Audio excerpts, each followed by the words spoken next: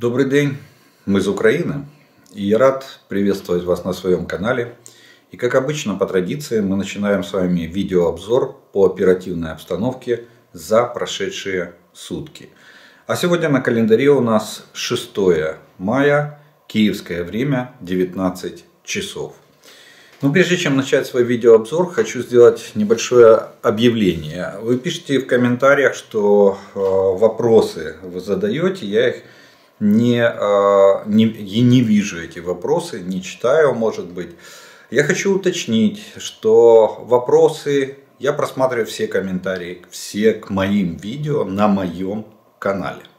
Если вы хотите задать мне вопрос, я постоянно предупреждаю, смотрите в оригинале мои видео. Я не отслеживаю распространение своих видео а, на других каналах. Естественно, ни там не читаю комментарии и не могу ответить на те вопросы, которые вы задаете там в комментариях. Поэтому обращаю ваше внимание, заходите на мой канал, смотрите мои видео в оригинале, пишите комментарии, задавайте вопросы. Сто процентов они будут прочитаны, эти комментарии. Если вопрос будет вызывать интерес, я на него постараюсь ответить. Это что касается объявлений. Ну и еще начать хочу э, с приятного. Сегодня день пехоты. На мой взгляд, как человека военного, наверное, это самый главный род войск. Самый главный. Какие бы ни писали там дифирамбы или стихи, песни, летчик высоко летает, мама, я летчика люблю. Или эй, моряк, ты слишком долго плавал. Все равно без пехоты никуда. И даже бог войны артиллерия, она воюет исключительно в интересах пехоты. В обороне она и защищает ее заградительным огнем, в наступлении она обеспечивает ее наступление огневым валом. Поэтому даже боги войны работают на пехоту. Я поздравляю, искренне поздравляю всех э, рядовой состав, сержантский, офицерский, представителей рода войск пехоты, царицы полей, действительно царицы. И главного, на мой взгляд, рода Э, войск любой армии мира. Поэтому с Днем пехоты. Ну а мы с вами начинаем очередной видеообзор о оперативной обстановке. Итак, не, не минула эта ночь э, без приключений и без очередной атаки была атака шахедами с южного направления, а, с восточного побережья Азовского моря. Оккупанты применили 8 ударных дронов «Шахед-136» или 131, они аналогичные. Все дроны были уничтожены средствами воздушного командования «Восток». Ну и хочется немножко вернуться назад, в 4 мая. А, почему? Потому что наконец-то у нас получилась какая-то эпопея, немножко непонятная, без вразумительного объяснения а, командования воздушных сил. В ночь с 3 на 4, на 4 мая силами, э, силами ПВО страны, в частности зенитно-ракетным комплексом «Патриот», была сбита ракета «Кинжал» гиперзвуковая ракета, суперорудие, которым хвастался Путин на протяжении многих лет. Мультики показывал всему миру и сказал, что мы теперь мы можем преодолеть любую систему ПВО. А нет. Оказалось, что Патриот может сбивать кинжалы. Потом было опровержение. 5 числа не по непонятной причине воздушное командование очень долго опровергало эту информацию. И наконец-то сегодня, 6 числа, мы получили официальную информацию от командующего воздушных сил, вооруженных сил Украины о том, что да, действительно, ракета «Кинжал» Х-47, выпущенная с носителя МиГ-31К, с территории Российской Федерации была сбита в Киевской области зенитно-ракетным комплексом «Патриот». Так что прощай, прощай непобедимое оружие, я бы сказал так. Э, я думаю, что очень многие военные специалисты и у нас, и на Западе очень ожидали вот этого прямого боестолкновения Патриота и гиперзвуковой ракеты. По заявлениям она, российской стороны она была чуть ли не единственная в мире. Поэтому было всем очень интересно. Ну и скажу так, что Патриот не подвел. сбили мы кинжал, так что для нас теперь... Это говорит еще о том, что ракеты Х-22, аэробаллистическую ракету, старую советскую жидкостную, мы тоже сможем сбивать теми же самыми комплексами Патриот. Ну и далее по оперативной обстановке. За прошедшие сутки противник нанес 8 ракетных ударов, 49 э, авиационных ударов. К сожалению, авиация противника актив, активизировалась в последнее время, но в основном за счет нанесения ударов планирующими бомбами. До 20, а, до 20 бомб в сутки в среднем использует российская сторона, а, производя удары по нашей по нашим войскам и по нашим населенным пунктам. Также было произведено 82 а, огневых удара из реактивных систем залпового огня а, российской оккупационной армии. Пострадали мирные люди, разрушены, повреждены частные жилые дома, есть э, и другая гражданская инфраструктура. Противник продолжает сосредотачивать основные усилия на ведении наступательных действий под Бахмутом, Авдеевкой и Марьинкой. На, э, на этих направлениях за прошедшие сутки силы обороны Украины отразили около 50 атак оккупантов. В эпицентре боевых действий остаются Бахмут и Марьинка. По оперативным направлениям, на Волынском и Полесском направлениях оперативная обстановка существенных изменений не претерпела. На Сиверском и Слобожанском направлениях враг наносит авиационные удары по Черниговской области и минометные артиллерийские обстрелы по Сумской и Харьковской областям. А, в общем, обстановка тоже изменений не претерпела, но продолжаются обстрелы. На Купинском и Лиманском направлениях здесь противник наступательных действий не проводил. А, на всей линии боевого соприкосновения происходили позиционные бои, перестрелки и обмен артиллерийскими ударами. Бахмут. Здесь тоже а, отмечается некоторое затишье по сравнению с другими днями. Э, с чем это связано? Либо с истощением сил противника, либо с попыткой его накопить резервы. Вот, э, ну, мы знаем, вокруг Бахмута, мы об этом еще поговорим сегодня, там идет политические игрища, танцы с бубнами со стороны Российской Федерации. Вот. Но э, надо отметить, что все равно э, противник продолжает вести наступательные действия, что продолжаются бои в самом городе. И э, вокруг него тоже оккупанты безуспешно, слава богу, э, пытаются атаковать населенные пункты. Ну, в частности, за последние сутки были попытки атаковать Григорьевку, Ивановское и Нью-Йорк. Э, все попытки, ата все атаки противника были отбиты нашими войсками. На Авдеевском направлении противник вел наступательные действия в районе Авдеевки. Успеха не имел. То есть тоже пытались, но в основном это больше даже похоже было на разведку боем. Я говорил, что Авдеевка, э, там они пытаются накопить, опять же пытаются накопить резервы. У них с этим проблемы. Э, шахтерское направление. Здесь никаких наступательных действий противник не проводил. Тут идут артиллерия, российская артиллерия наносит э, удары по Угледару, в основном по Угледару. Они почему-то там только сосредотачивают свои, э, свои как бы основные усилия. Э, но, но при этом наша артиллерия ведет контрбатарейную борьбу. Судя по результатам предыдущих суток, э, довольно успешное количество уничтоженных артиллерийских систем иногда, иногда более 10 единиц сягає більше 10 одиниць.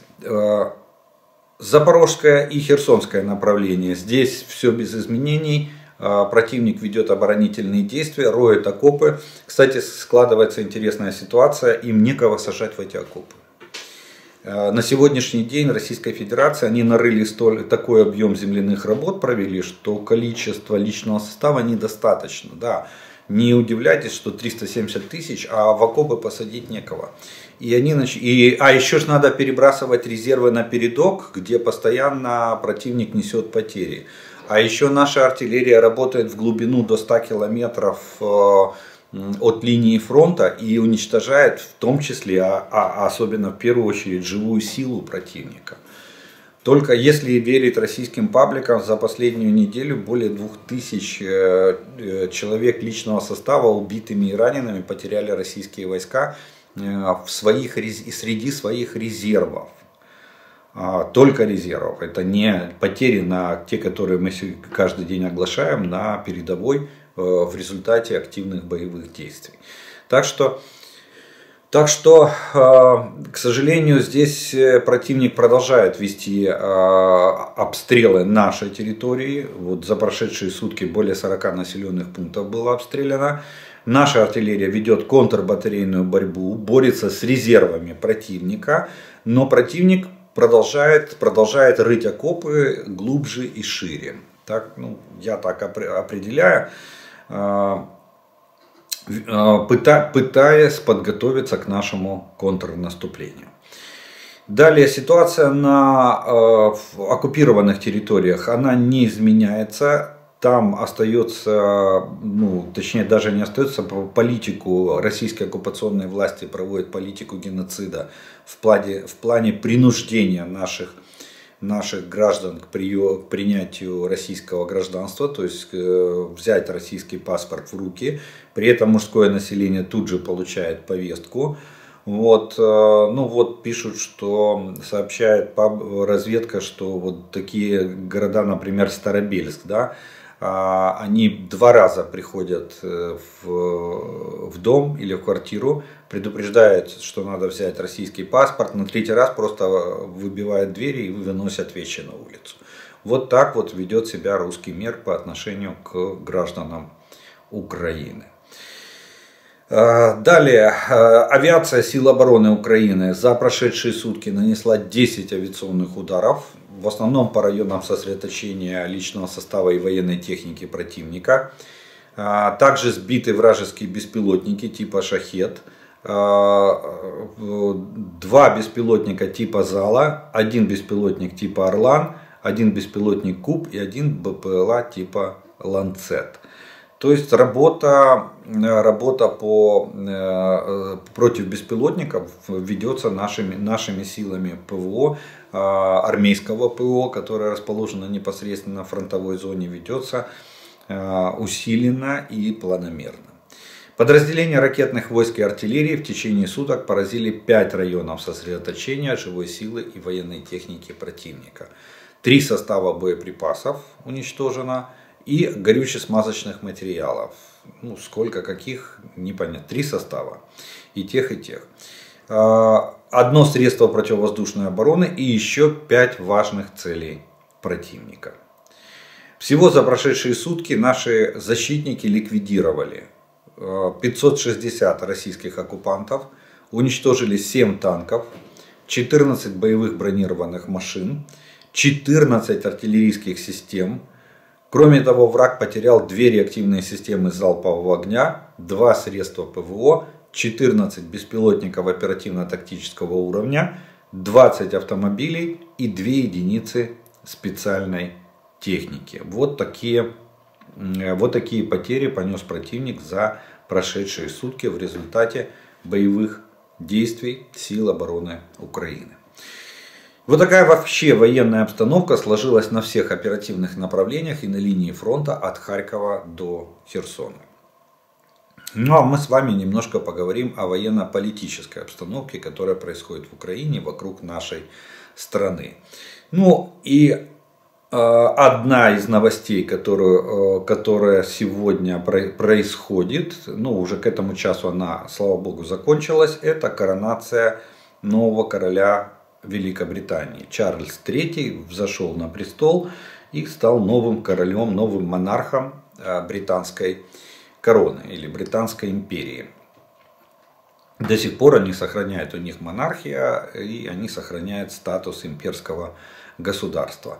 А, Украину, Украину представляли а, премьер-министр Шмыгаль и, и первая леди Украины э, Елена Зеленская. Кстати, Елена Зеленская находила, э, провела встречу с Кейт Миддлтон, это жена принца Уильяма, он теперь, он теперь главный или, или первый кандидат на замещение трона. В случае, ну, если что-то произойдет с действующим королем, с действующим монархом. Вот. И Кейт, Кейт Миддлтон, естественно, претендует на место на место королевы по, в, в, порядке, в порядке наследования престола. А, и также она, она провела с ней встречу, ну а всю церемонию она э, была вместе с женой Джо Байдена и с его внучкой Джо Байдена. И вот они в этой компании э, втроем э, полностью проводили наблюдали, точнее, на, со своих мест за прохождением церемонии. Кстати, внучка и жена а, Байдена были одеты в цвета украинского флага. Внучка в желтом платье, жена Байдена в синем, а, синем платье. То есть э, синий-желтый стал ну и э, э, острый глаз знатоков сразу же заметил, что в Букингемском дворце был ковер, тоже сине-желтого цвета. Ну, сказали, что это связано. Ну, я не думаю, что это было специально подобрано под наш флаг, но совпало. И нам это тоже, это тоже приятно. Такое, такое, такое совместное времяпрепровождение говорит о, политических намерениях дружбы и дальнейшего сотрудничества наших стран, Соединенных Штатов Америки и Украины. Ну и присутствие на церемонии тоже с Великобританией вместе. Куда же без нее. И теперь более важное событие. Это состоялся обмен э, военнопленными. Вчера домой вернулись 45 наших защитников. Э, по документам пишет, что это все защитники Азов стали. Э, все 45, 42 мужчины и 3 женщины. Среди, э, среди них 35 рядовых и сержантов и 10 офицеров. Все они бойцы Национальной гвардии Украины, полка Азов. А, они удерживали вот комбинат, они выходили из э, комбината согласно распоряжению Верховного Главнокомандующего Зеленского. Э, их обменяли. К сожалению, их обменяли на, я имею в виду не сам обмен, я имею в виду на цену обмена. Их обменяли на трех летчиков российских, российских воздушно-космических сил. Я так понимаю, Россия идет на такие обмены, потому что у нее крайняя проблема с летным составом. И я не удивлюсь, что эти летчики через пару дней сядут за штурвал самолетов и начнут участвовать в дальнейших бомбардировках нашей территории. Но все равно мы своих э, защитников стараемся вызволить из плена, даже такой, даже такой ценой. Далее, а, Беларусь э, не продолжает удивлять. Э, Лукашенко иногда выдает перлы политических заявлений, которые потом обговаривает очень долго. Ну и сама, я думаю, что это не, не, не без его участия. Беларусь вдруг неожиданно ввела контроль, э, паспортный контроль на границе с Российской Федерацией. Образовались, сразу же образовались километровые очереди и стало заметно, какое количество россиян пытается уехать в Беларусь для того, что, ну, по, из, из, из Российской Федерации. Если раньше мы наблюдали очереди там на казахской, грузинской границе, вот, то сегодня оказалось, что в Беларуси то же самое. Но а Белоруссия решила, э, решила все-таки взять под контроль этот поток беженцев из России и стали проводить паспортный контроль и стали э, проводить э, таможенный досмотр, причем довольно жестко, в жесткой форме и довольно, я бы сказал, глубоко. Всех выгоняют из машин и обыскивают машины полностью и, запих, и, пол, и вносят в реестр э, документы, то есть того, кто пересекает границу. Вот, вот, такой вот, э, вот, такая, вот такой вот дружеский шаг от э, Белоруссии получила Российская Федерация. Далее, Иран. Times, э, газета Times of Israel пишет, что Иран получил, получил обогащенный уран от 20 до 60 процентов. Количество которого достаточно для производства пяти ядерных бомб. Даже, видите, посчитали объем. Глава Минобороны Израиля отметил, что обогащение Ирана, Ираном урана до 90% было бы серьезной ошибкой и могло бы спровоцировать воспламенение региона. Однако западные политики считают, что в ближайшее время ракеты не будут произведены, так как помимо достаточного количества расщепляющегося материала для ядерного оружия, э, необходимо еще и дополнительное время, чтобы подготовить непосредственно снаряды к использованию. То есть э, сами, сами заряды э, надо время для того, чтобы их создать. Уран они обогатили, ну, хотя ранее писалось, что 60% это мало. 90% да, это практически чистый, чистый уран, с которого можно склепать ядерный боезаряд. Но тем не менее Израиль высказывает такое опасение. А вот Соединенные Штаты заявили, что Иран еще не обладает всеми технологиями, необходимыми для создания бомбы. И не принял окончательного решения по поводу создавать ее или не создавать. Очень интересно в этом сообщении отметить то, что Израиль и Соединенные Штаты, а, на мой взгляд, соревнуются в том, кто глубже знает проблематику ядерной программы Ирана. То есть такое впечатление, что они ее отслед... ну, они, действительно они ее отслеживают, что у них просто информация прямо изнутри этой ядерной программы, и они точно знают, сколько урана, какой процент обогащения, какие технологии есть, каких нет, и сколько времени понадобится еще для того, чтобы освоить эти технологии и все-таки выдать на гора ядерный боезаряд. Так что довольно интересная ситуация, посмотрим, как будет развиваться. Но тем не менее, Израиль уже готов, я так понимаю, э, Израиль бьет в колокола и готовится, скорее всего, на мой взгляд, Израиль готовится к применению каких-то серьезных мер по предотвращению дальнейшего обогащения урана в Иране. И э, чтобы не дать э, повода для, как они говорят, зажечь регион, то есть Ближний Восток не перестает удивлять премьер-министр э, Венгрии.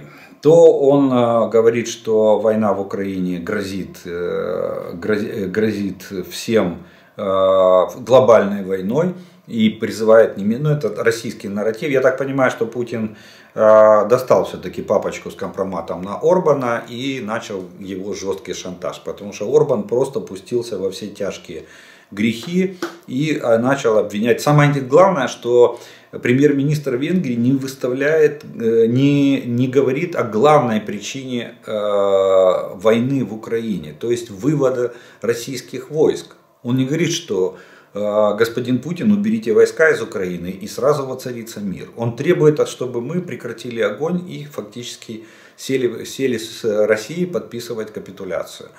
Вот. И если вчера, еще там позавчера он говорил о том, что Венгрия несет огромные убытки из-за траты, из-за из войны, и поэтому Украина должна немедленно прекратить огонь, остановиться там, где стоит, и сесть за стол переговоров, то вчерашнее его заявление вообще э, на уровне, как говорил известный киногерой, когда вы говорите, такое впечатление, что вы бредите. Так вот он договорился, что в Украине живут э, венгры. Часть Украины, э, ну это понятно, этнические венгры на границе с Венгрией, конечно же, живут в Украине. А часть Украины это исконно венгерские земли. Ничего не напоминает? Знакомое да, выражение. Исконно венгерские земли. Да, исконно российские земли, говорил Путин. Которые принадлежат сейчас Украине. И венгры тоже погибают на войне. Поэтому мы как минимум вдвойне мотивированы на обеспечение мира. Но видите, как однобоко, да, обеспечение мира. Украина должна прекратить огонь. А вывести войска Путину он подсказать не может. Э, до этого господин Орбан, э, к сожалению, не додумался. Далее. НАТО провели учения на фоне опасений возможного удара России по критически важным подводным объектам Европы и Соединенных Штатов. А, об этом сообщает там Bloomberg. Э, ну, вы помните, да, что были взорваны три из четырех ниток э, Северного потока, четвертая получила повреждения и не, сегодня не может э, транзитировать газ из Российской Федерации в Европу.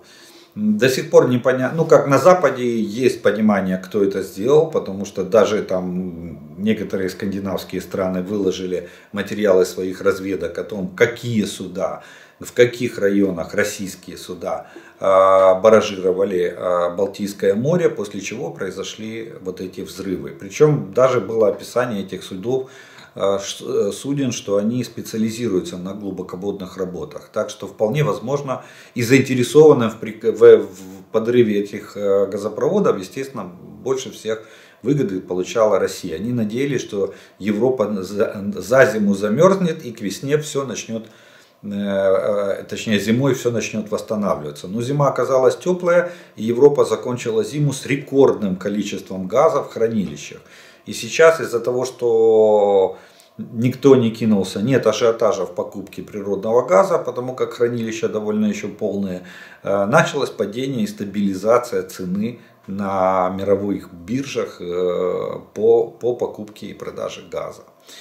Вот. И э, Естественно, Российская Федерация пытается опять же шантажировать, она пускает эти э, корабли, которые могут вести глубоководные работы, и они, они, бараж, они курсируют или дрейфуют в, район, в районах, где пролегают коммуникации Европы. Это и оптиковолоконные кабели, это и электрические кабели в том числе, это и а, продуктопроводы, э, ну, в том числе и газопроводы, которые существуют между Скандинавией и материковой Европой. Так вот, страны НАТО завершили в пятницу учения для усиления наблюдения за подводными лодками после того, как Альянс предупредил, что Москва ведет наблюдение за важнейшими подводными объектами Европейского Союза и Соединенных Штатов Америки.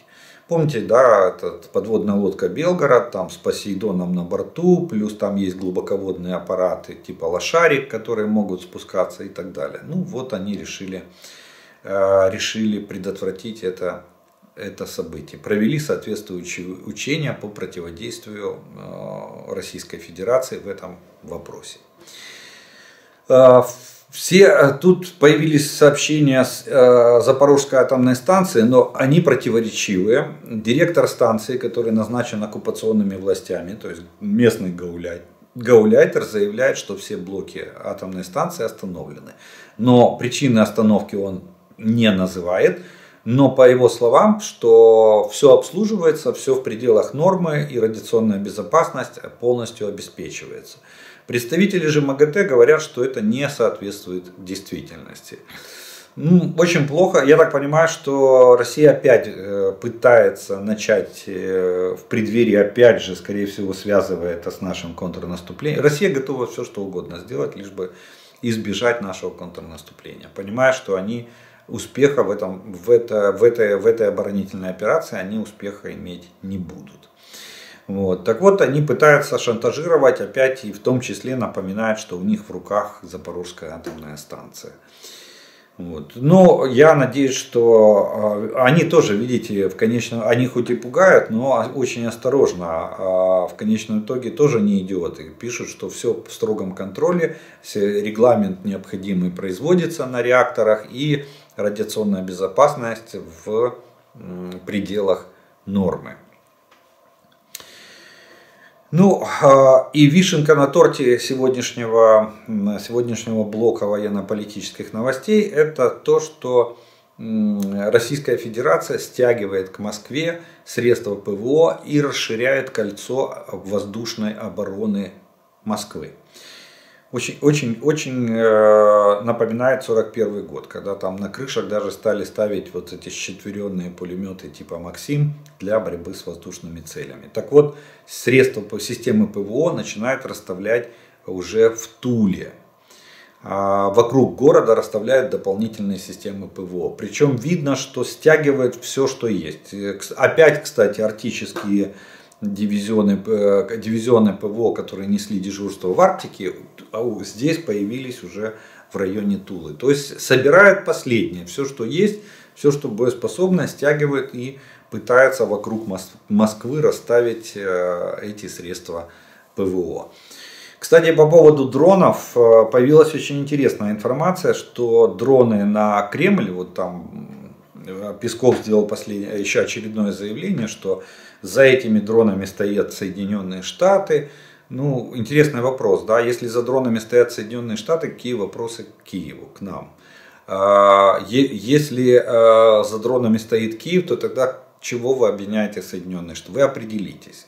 Никак они вот это определиться не мог, кто же и как же. А вот э, я нашел в российских, э, в российских пабликах, российские аналитики пишут, что дроны были запущены с территории города Москвы. И они прилетели не с запада. Не с запада они летели где-то от направления от улицы Ордынской. Москвичи знают, где это. А, я с трудом догадываюсь, где это. Но это восток Москвы, это точно улица Ордынская, и предполагает, что дроны могли быть запущены с грузовика. Кстати, очень, очень, э, я сразу же вспомнил, как запускаются шахеды. Э, пусковая установка шахедов находится на грузовой машине, которая замаскирована под обычный тентованный грузовик гражданский. И вот тут э, вот такое сообщение меня очень э, как бы не удивило, а наоборот дало мне ответ на вопрос, откуда же могли прилететь эти дроны. Вполне возможно, что грузовик мог остановиться на одной из улиц, поднять тент, время ночное, все практически по домам, на улице никого нет, выпустить два дрона, закрыть тент и тихонечко уехать. Вот э, один, один из вариантов этих. А потом можно обвинять кого угодно. Ну и, но все равно, как бы ни крутил Песков, чтобы он не заявлял и чтобы они не делали, я так понимаю, что эти дроны это все-таки результат внутренних распри вокруг э, трона короля. То есть там уже начинается борьба нанайских мальчиков в плане того, кто, э, а в плане устранения, отстранения Путина от власти и э, в плане борьбы, кто следующий сядет на эту табуретку под названием президент Российской Федерации. Ну что ж, вот такие вот э, новости военные, военно-политические произошли в Украине вокруг нашей страны. Я по традиции сделаю паузу еще раз напоминаю, а, кто не подписан, приглашаю подписаться на мой канал. И, кстати, смотрите видео. Это для того, чтобы вы могли смотреть видео, знать, что они появились, новые видео, смотреть их на моем канале и в комментариях задавать свои вопросы, а не писать комментарии и вопросы где-то там в других, на других каналах. А, те, кто смотрит это видео, поставьте, пожалуйста, ему лайк. Тогда его смогут увидеть как можно большее количество людей. Ну и через некоторое время мы с вами продолжим.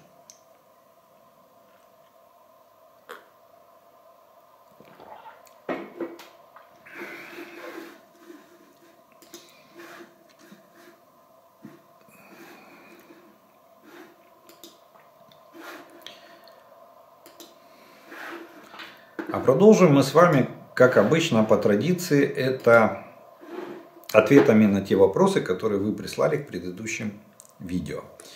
И первый вопрос сегодняшнего дня. Доброго дня. Буде следующий. Доброго дня. Оцініть, будь ласка, потенціал гіпотетичної наступальної операції з е, під Торецька та Сіверська в сторону Алчевська з заходом в тил ворожому угрупованню в Бахмуті.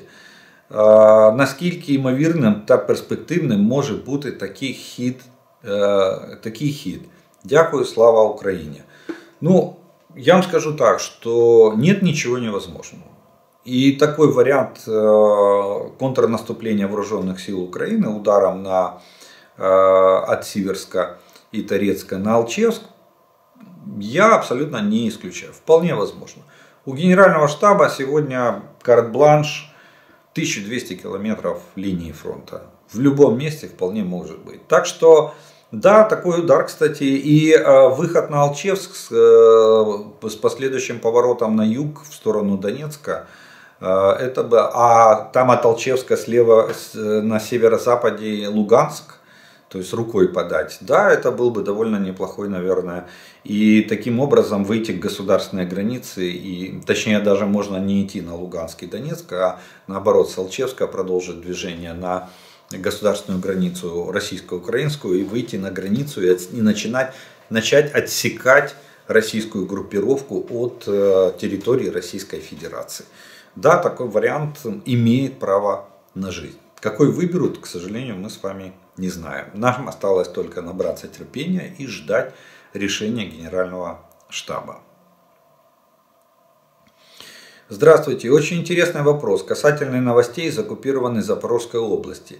Сейчас из многих источников поступает информация о том, что в оккупированной Запорожской области будет эвакуировано 18 населенных пунктов, в том числе Такмак.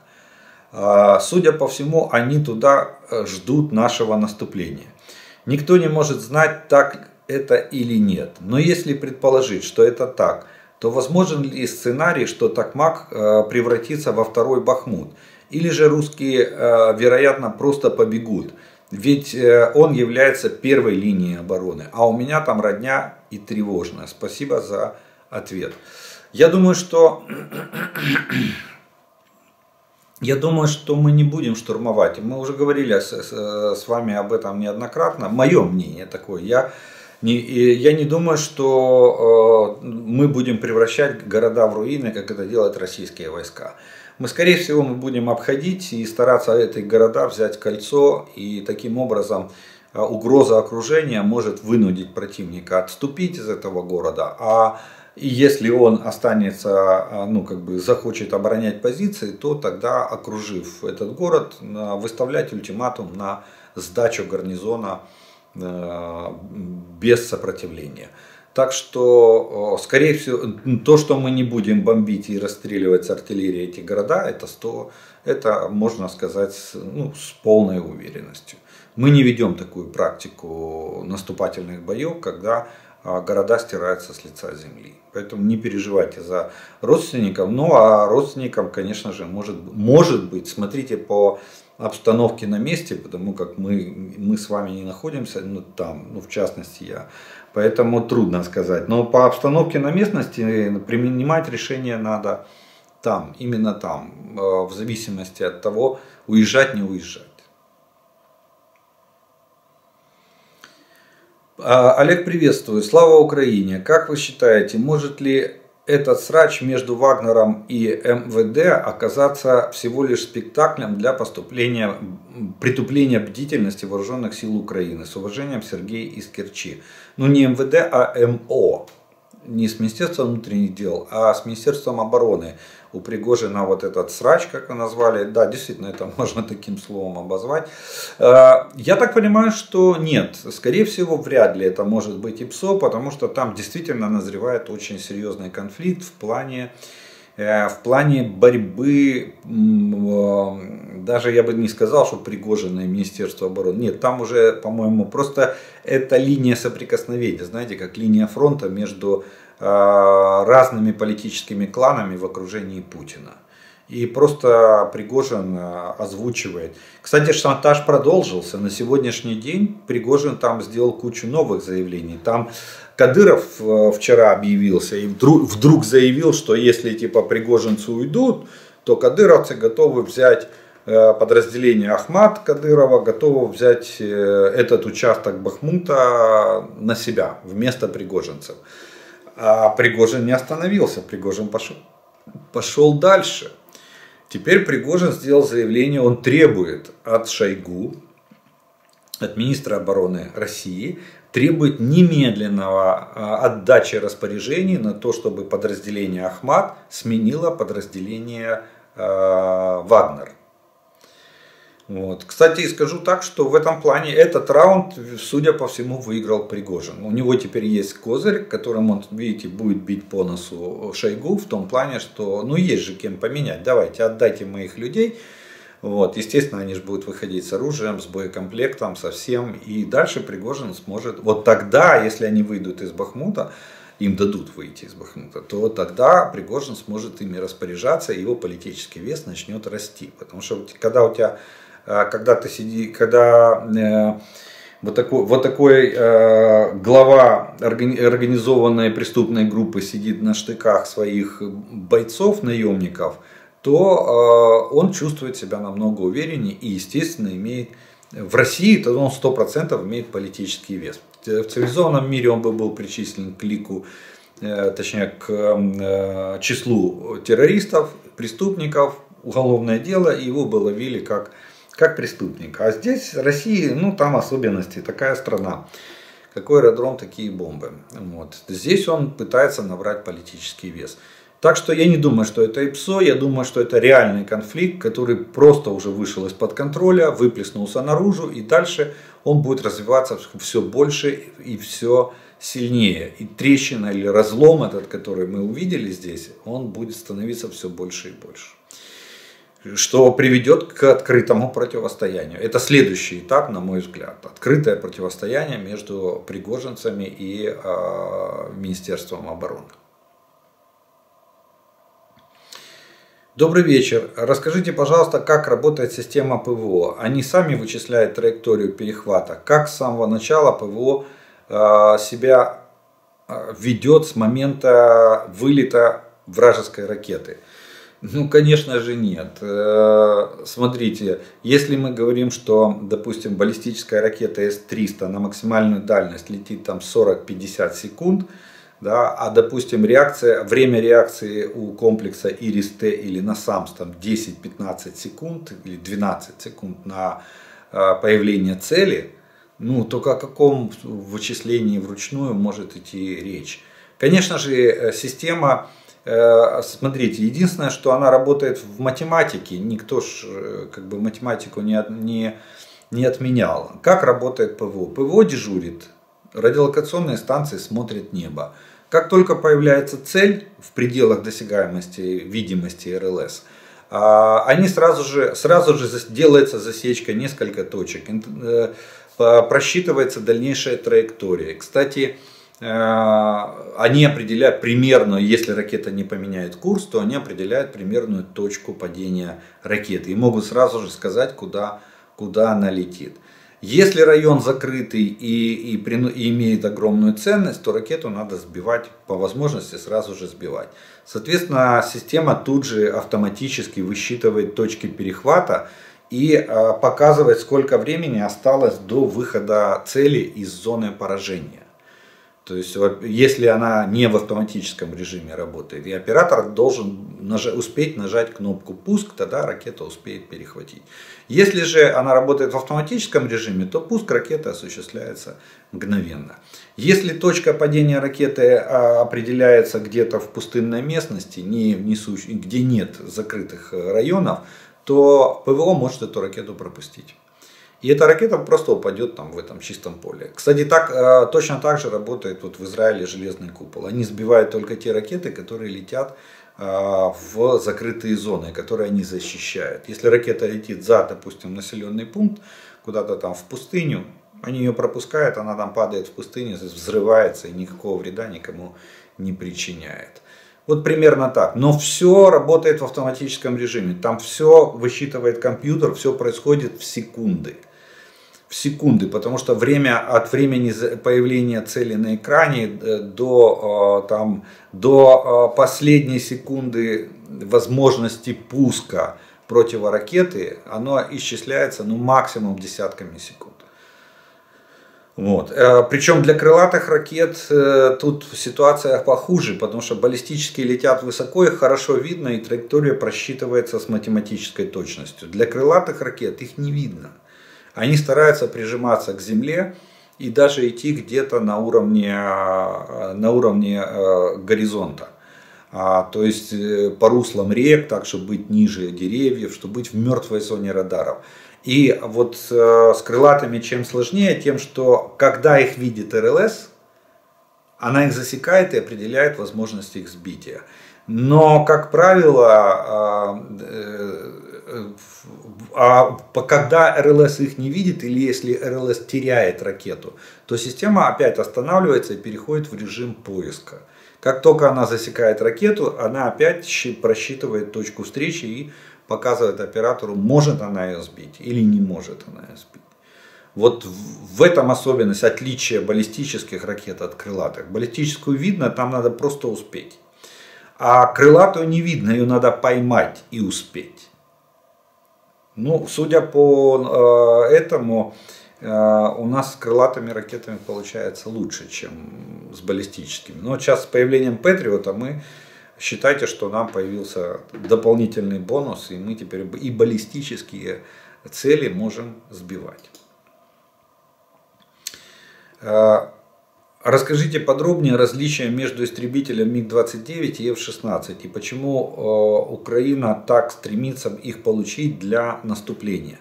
Смотрите, я не буду вдаваться, я, кстати, неоднократно на моем канале, можете поискать предыдущих видео, где я давал, просто характеристики давал. Ну скажу так, что МиГ-29 э, у него, он тяжелее, чем F-16, но за счет того, что у него две, два двигателя, у него некоторые показатели даже лучше, чем у F-16. Допустим, скорость набора высоты, маневренность, э, и, и скорость максимальная у него больше. F-16 он, он легкий, у него один двигатель, естественно, вот он по этим параметрам уступает. Но в чем главное преимущество F-16? Почему мы ратуем за F-16? F-16 является многоцелевым самолетом.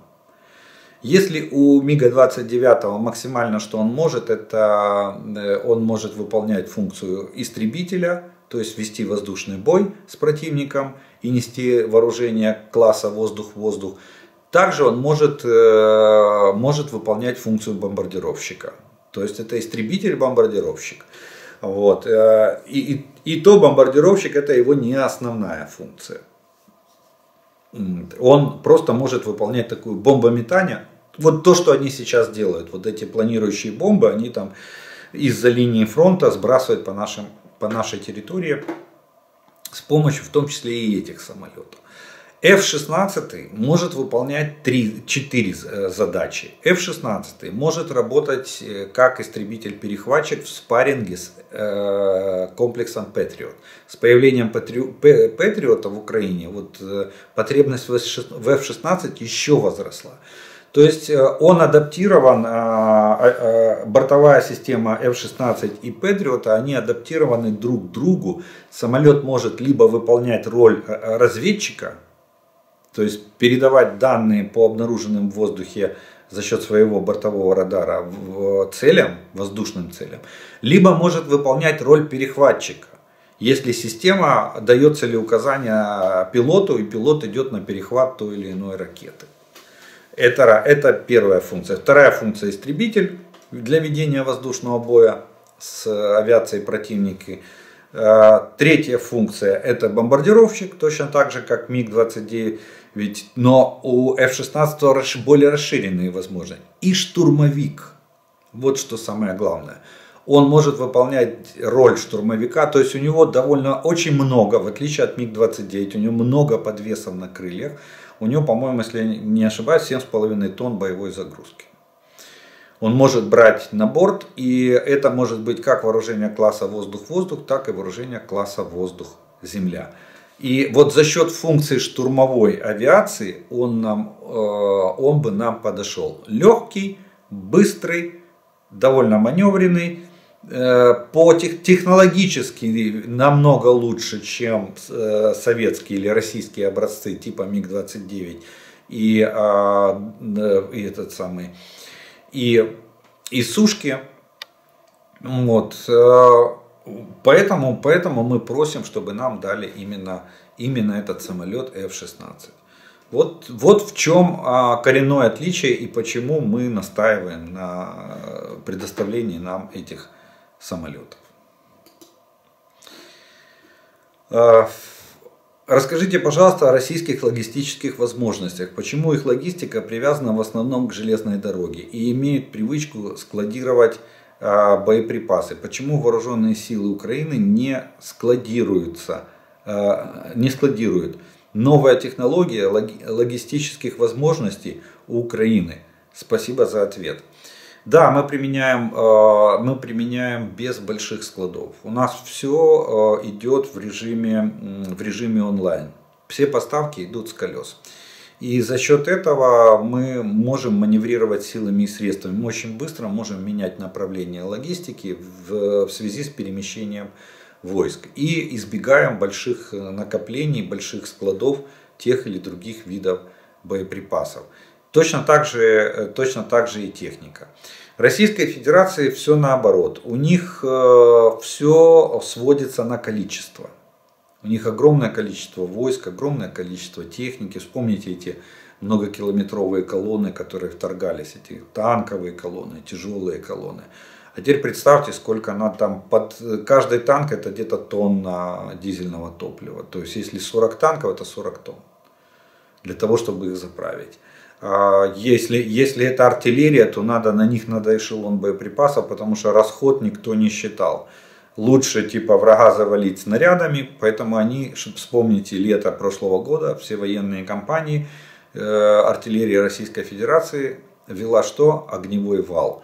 Естественно, э, они даже, э, пока, пока у нас не появились Хаймарс, они даже делали вот на месте огневой позиции, они сразу делали огромный склад. Туда навозили кучу боеприпасов и артиллерия пока не, не поразрывает стволы, выкладывала, выкладывала их на, их на грунт.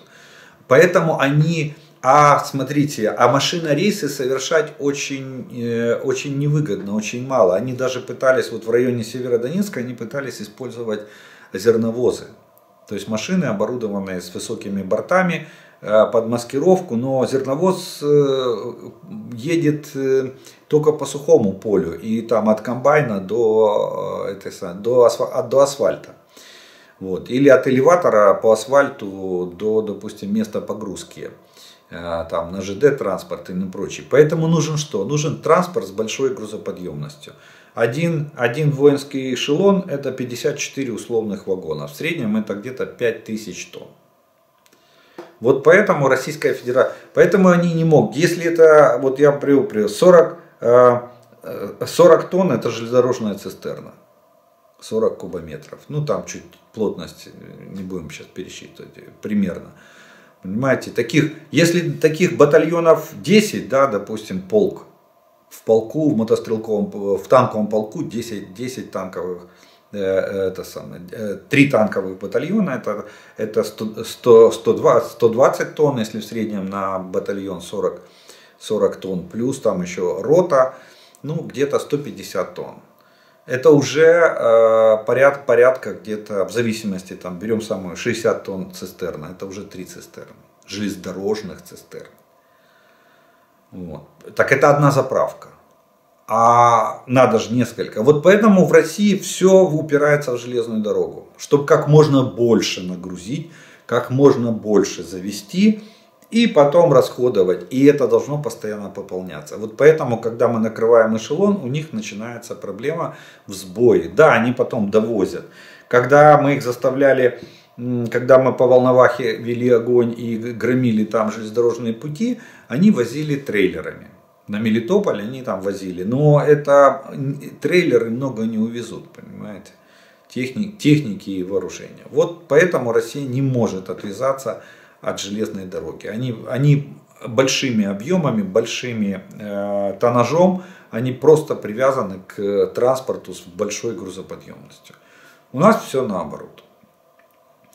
Вот такая, вот такая вот, вот так построена логистика в, в российской армии и примерно так построена логистика в вооруженных силах Украины. Кардинально отличается. Можно сказать, полная противоположность. Ну что ж, мы на этом с вами, наверное, вторую часть нашего видеообзора закончим. Это ответы на вопросы. И у нас остается третья часть. Это э, комментарии, приветствия и пожелания, которые вы прислали к предыдущему видео. Э, Ага, кстати, вот, э, ну, вот такой интересный комментарий, что Кожедуб и Покрышкин летали на американских истребителях. Это, наверное, к вопросу о, а, о ленд-лизе или... А, и о, наверное, о качестве самолетов, что они... Э, это же два самых знаменитых летчика, так вот, свои звания героев Советского Союза, видите, они, они зарабатывали на американских самолетах. Э, у меня у меня вот, кстати, с самого начала, с первых часов вторжения, с первых суток, очень мощное чувство, что нам очень сильно помогают середины аппарата Московии. Потому что все, что было возможно сделать, Все наиболее неправильные приказы, которые можно было отдать, были отданы с первых секунд. Они стояли два с половиной часа, бомбили всем, всем, что у них было, абсолютно пустую границу. Ведь в первые секунды поступила команда, как я понимаю, отступить всем войскам и войти в более-менее большие населенные пункты или областные центры, чтобы не стать мясом без поддержки. И начиная с этого приказа, приказ за приказом, это полная фиаско. Как будто кто-то спецом там сидел, продумывал наиболее правильные шаги и делал все с точностью наоборот. Не сконцентрировать войска на востоке или вообще на Донбассе, а растянуть на пол Украины, не, не дожимать Киев, кинув туда все резервы, а получив, а получив по морде отойти, войска на Херсон бросить. Ну, первокласснику уже ясно было, что и ПСО, мост тот же, э, Москву к берегу погнали. И, и это я только самые запоминающиеся фиаско написал. Ну, как говорится, спасибо, слава Украине. Вот такой про фабы правда. Я из северной Салтовки, Харьков. У меня, у меня в крыше дома торчал неразорванный ФАБ 500. Это, это обычная девятиэтажка. Это о том, что они не взрываются. Э, ваше видео, ага, ну это, а, вот, кстати, это то, что я делал объявление в самом начале, и в конце я тоже повторюсь. Ваше видео регулярно выкладывают на канале Униан. Просмотры большие. Главное, там задают много вопросов. Видимо, надеюсь, что вы эти вопросы читаете и ответите на них. Может это будет некорректно, но внесите, пожалуйста, ясность для этих зрителей. Да, еще раз вношу, еще раз вношу ясность для всех зрителей. Я читаю комментарии отвечаю на вопросы, только заданные и написанные на моем канале. Все остальное я не беру во внимание. Э, принудительная паспортизация на оккупированных территориях не является легитимной и не может быть признана мировым сообществом, чтобы орки не говорили. Да, вы с точки зрения юриспруденции абсолютно правы, но у России своя, э, своя юрисдикция, к сожалению. По поводу оккупированных территорий и давления на местных жителей. Брать русские паспорта э, все, все правда. Мои родители очень напуганы, что их выселят из дома. Я, к сожалению, ничем им помочь не могу. Говорю, берите тот гребаный паспорт, потом выбросите в туалет. Не будет паспорта, не будет песни, пенсии. Людям а, как-то нужно выживать. Да, там надо определяться, на мой взгляд, надо определяться по месту, по ситуации. Найжахливіше зараз те, що регіони міста, які підтримують руський мір, е, підтримували руський мір до війни, е, потерпають і страждають зараз більше. Та так Московія мститься за, за людей, які були налаштовані на них. Тепер очі відкриті у всіх. Україна і українці найкращі пишаються всіма, всіма вами. Перемога України вже скоро. Тримаємося рідненькі. В Европе человек работает всю жизнь и платит налоги для того, чтобы, выйдя на пенсию, наслаждаться жизнью и ездить по миру. В России человек пашет всю жизнь без отдыха для того, чтобы в старости получить нищенскую пенсию и шарить по помойкам и собирать просрочку. Вот вам и разница миров. А ведь Советский Союз выиграл Вторую мировую, в отличие от Германии. Ну, если э, сравнивать с Германией, то да, Советский Союз считается в когорте победителей. А, ой, вот этот пример про соседа я многим русским приводила еще в 2014 году. Им пофиг, они хотят, э, они, они хотят, значит они берут. Так они привыкли. Я жила в русской э, глубинке три года. Там это нормально. Сопрут все, что понравилось, если не, не прикручено к полу. И то еще под вопросом. Если сильно понравилось, то вырвут с корнями, прям перед глазами. Это у них норма. Если у них российские паспорта и они граждане России, то пусть собирают свои манатки и едут в Россию. Сейчас эти сволочи накрыли Бахмут зажигательными снарядами. Да, вчера кадры горящего Бахмута, это, конечно, очень, очень печально и ужасно. Но методы ведения войны Российской Федерации, тут фашисты Второй мировой просто, просто отдыхают по сравнению с тем, что творит Россия, российская, российский фашизм. Олег, здравствуйте. Хотела вам сказать, что Гиркин, что, Пригу, э, что Пригожин работают на Путина. Просто специально играет каждый свою роль по сценарию. То есть разводят всех. На самом деле они все едины и никакой вражды между ними нет. Пригожин обещает 10.05.23 вывести войска из, из-за нехватки боеприпасов. Это тоже брехня, так как боеприпасов хватает. Просто перед нашим контрнаступлением боятся проиграть, поэтому хотят красиво выйти из этой ситуации, обвинив не Путина, а Герасимова и Шойгу. Опять же, разводят всех э, этим, и, кстати, нашим вооруженным силам Украины нужно будет быть аккуратнее при наступлении, так как расисты, скорее всего, готовят и нам какую-то ловушку. Ну что же, это ваша, ваша версия вполне имеет право на жизнь. Э, привет, Олег. Э, привет из Польши. Слава Украине. Никаких уступок Путину, чтобы громить орков до последнего на вашей украинской земле.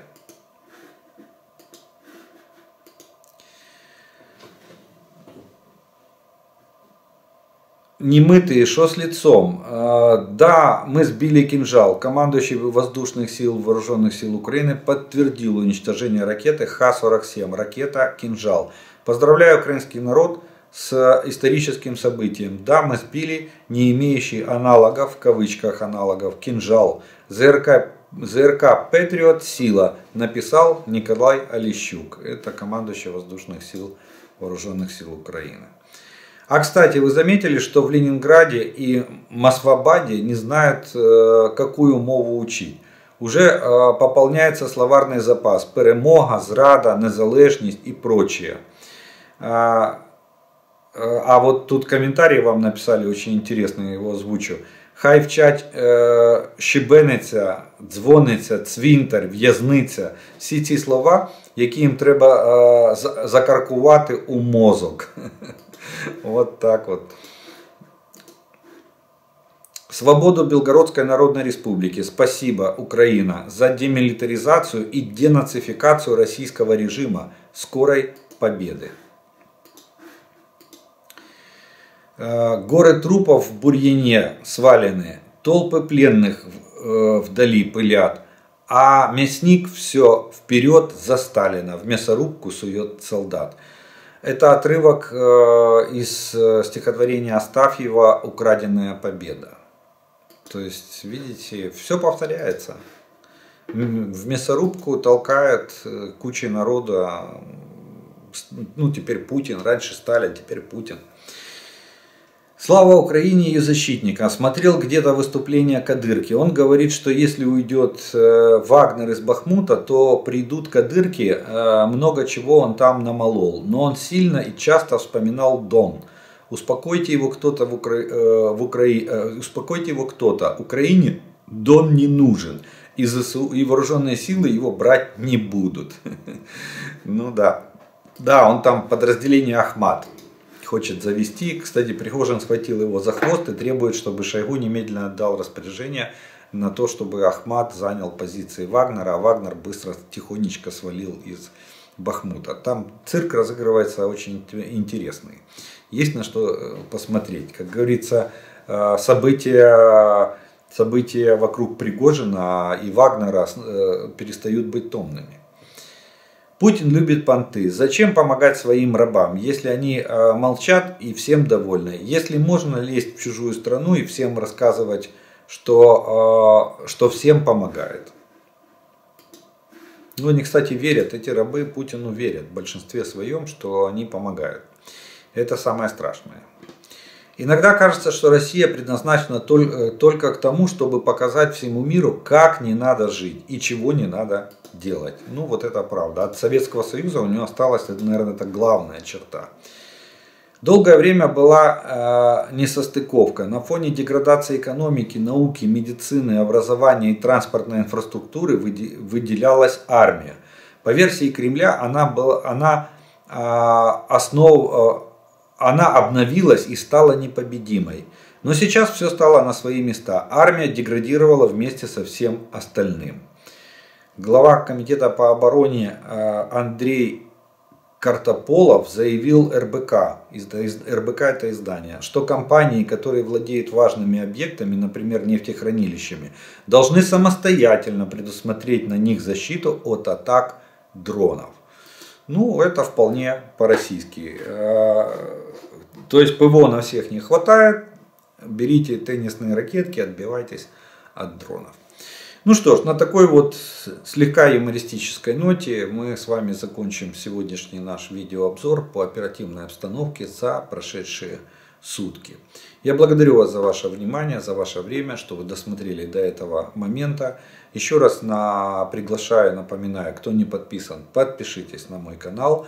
А, получайте уведомления о появлении новых видео, пишите комментарии на моем канале, задавайте вопросы на моем канале, и я буду стараться на них ответить.